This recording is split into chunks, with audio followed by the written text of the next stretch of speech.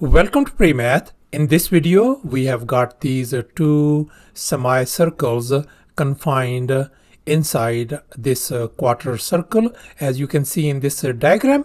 And moreover, these two semicircles are tangent to each other at this point. And furthermore, the radius for this quarter circle is uh, 8 units and uh, the center for this uh, larger semicircle is uh, A and the center for this smaller semicircle is B and now we are going to calculate the area of this green shaded region. Please don't forget to give a thumbs up and subscribe.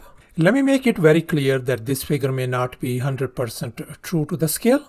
Let's go ahead and get started with the solution and here's the very first thing we can see. We know that the radius for this uh, quarter circle is 8 that means this whole length EC is 8 units. So therefore this radius CD is going to be 8 units as well. And now let's focus on this uh, larger semicircle and we can see that this is the radius of this uh, semicircle. And we can see that this is going to be the half of this uh, 8 so that means this is going to be 4 units. So therefore the radius for this uh, larger semicircle is going to be 4 units. And finally let's assume that the radius for this uh, smaller semicircle is lowercase r. And here's our next step. Let's go ahead and calculate the area of uh, this uh, quarter circle first. And now let's recall the area of the circle formula. Area equals to pi r square where r represents the radius.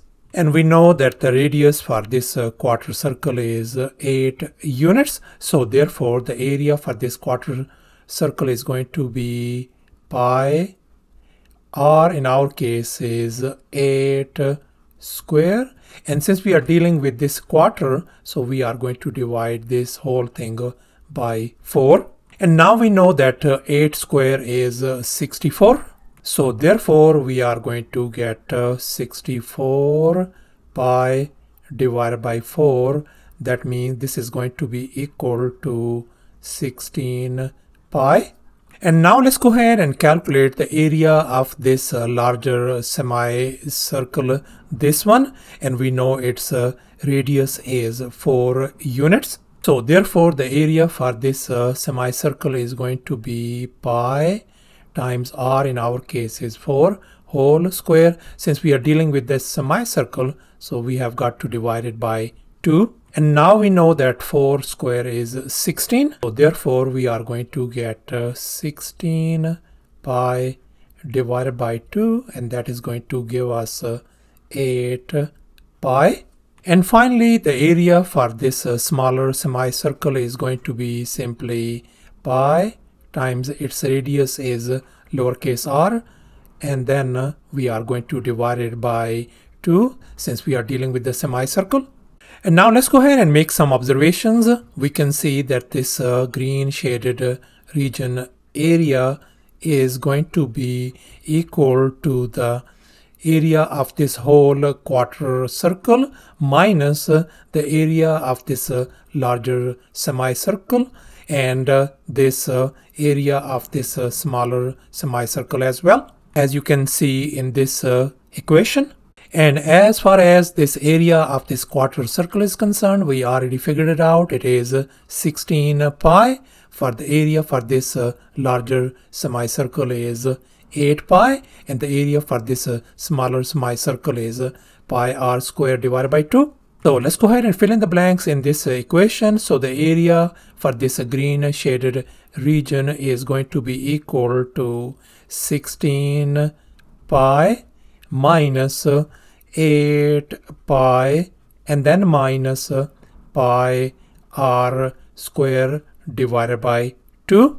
Let's go ahead and combine these like terms that is going to give us 8 pi minus pi r square divided by 2 So therefore the area of this green shaded region turns out to be 8 pi minus pi r square divided by 2. Let me go ahead and call this as our equation number 1. And now our task is to find the value of this uh, lowercase r.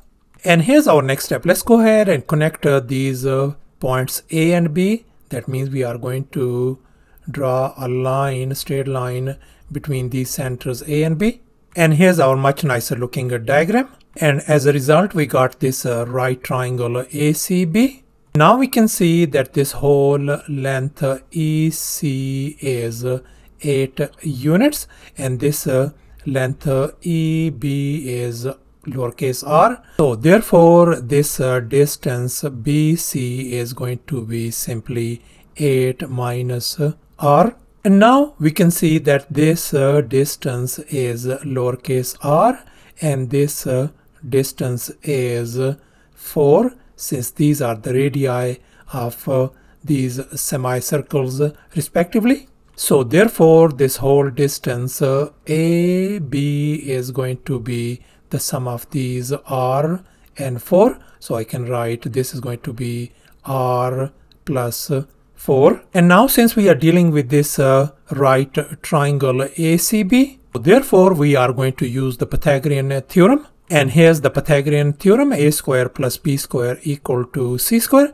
Let me go ahead and uh, call this longest leg as our side C. I'm going to call this side A and I'm going to call this side B. So let's go ahead and fill in the blanks in this Pythagorean formula. A in our case is 4 so this is going to become 4 square plus b in our case is 8 minus r whole square and c in our case is r plus 4 whole square. Now let's simplify. So 4 square is 16 plus and now let's recall this famous identity a minus b whole square we are going to apply on this part. Therefore, this could be simplified. 8 square is 64 minus 16r plus r square equals to and now let's recall another identity a plus b whole square we are going to apply it on the right